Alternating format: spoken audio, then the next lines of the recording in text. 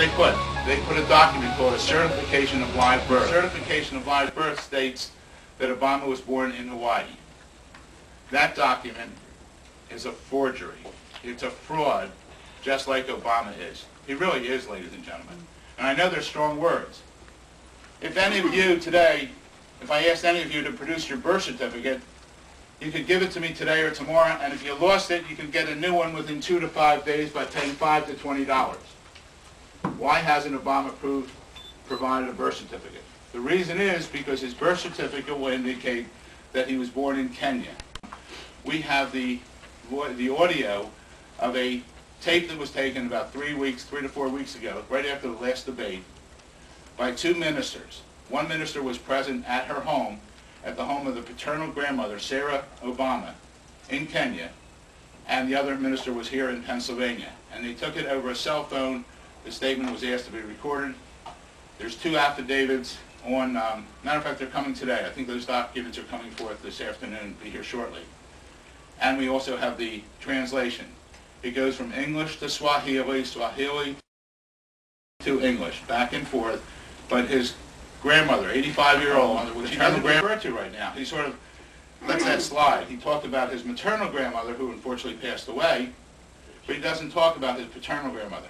But yet there was a national holiday a week or two ago in Kenya after Obama wasn't elected, as far as the Electoral College hasn't voted yet. When he received more votes than anyone else on November 4th, they had a national holiday.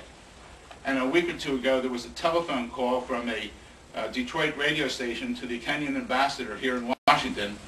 And in that discussion, it basically said his home is there. We know where his national spot in, in, in um, Kenya already and now the ambassador is trying to double talk his way back out of that. Um, if Obama really had a Hawaiian birth certificate, we would have seen it by now. What's been misquoted a lot of times is the Hawaiian authorities, two individuals stated they saw his birth certificate and it's for real. But notice in their statement, if you go back a couple weeks ago, it does not mention that it's a Hawaiian birth certificate. It also doesn't mention Kenya, but it does not mention it's a Hawaiian birth certificate. Our research has determined, based on the grandmother and other, he was born in Kenya. Then they came back to the United States and registered the birth, which is allowed in Hawaii. By being in, born out of the country, any of you, any citizens of the United States, if you travel, if both parents are from the United States and you're out of the country on vacation, once you go through immigration come back, your child is considered natural born when only one parent is a United States citizen, you have to look at the law in effect at that time.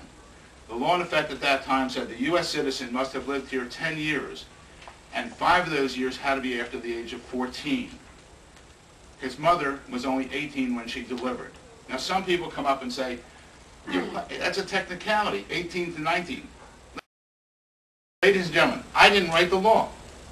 You didn't write the law. The law was written many years ago, and the, it goes by the date of the birth of the child. Based on that, if I'm correct, he's born in Kenya, he is only a naturalized citizen to be president of the United States. Next, even if he's born in Hawaii, he loses, even if he's born in Hawaii, he loses his citizenship when he goes to Indonesia.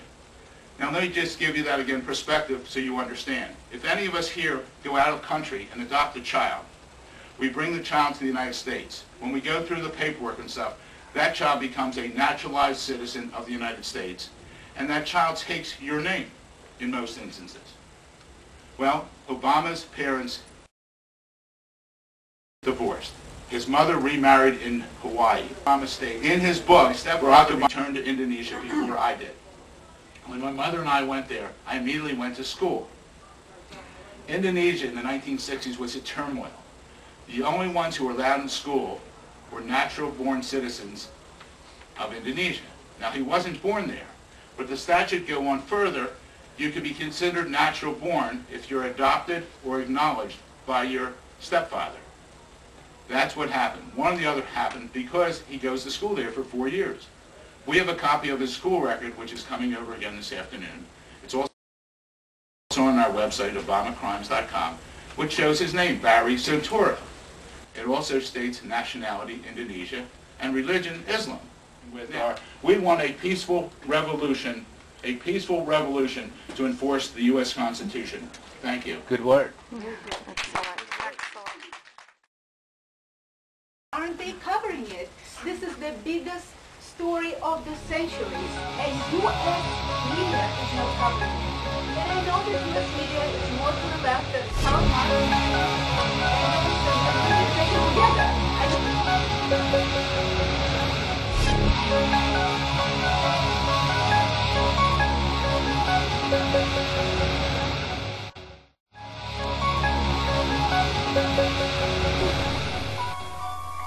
Okay, let's connect the dots.